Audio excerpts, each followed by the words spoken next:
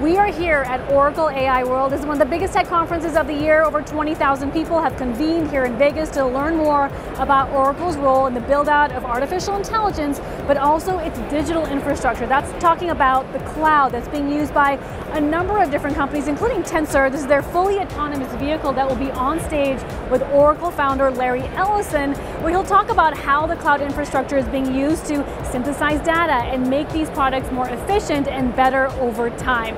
Key question is, is it enough? Is it all enough to uh, beat the competition out there, Google, Amazon, and Microsoft that also have competing cloud products?